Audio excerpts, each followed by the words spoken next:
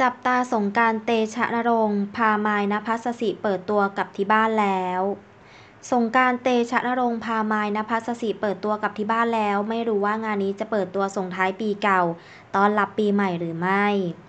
ก่อนหน้านี้ต้องบอกเลยว่าโดนจับตามองอยู่ค่ะสำหรับความสัมพันธ์ของสงกานต์เตชะนรงค์ทายาทโบนันซ่าแห่งเขาใหญ่ ที่มีข่าวหรือว่ากำลังคบอยู่กับสาวหน้าหมวยมายณภัสสิ หลังจากที่มีการจับภาพของทั้งคู่อยู่ในสถานที่เดียวกันและต้องบอกเลยว่ายิ่งชัดเจนขึ้นเรื่อยๆ หนุ่มสงกานต์และสาวมายได้มีการออกมาโพสรูปภาพของที่ร้านอาหารแห่งหนึ่ง แต่ทั้งคู่ได้โพสต์คนละวันค่ะ แต่ทั้งเมนูอาหารพื้นหลังร้านคือต้องบอกเลยว่าเป๊ะมากๆ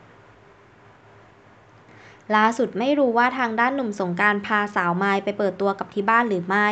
เพราะว่าทางด้านสาวไมายได้มีการออกมาโพสรูปภาพที่เบื้องหลังหลายคนเห็นแล้วจำได้เลยค่ะว่า คือมุมบ้านของคุณสงกานต์ค่ะ ซึ่งงานนี้ค่ะ เมื่อเอารูปภาพมาเทียบกันช็อตต่อช็อตก็ต้องบอกเลยว่าชัดเจนที่สุดแล้ว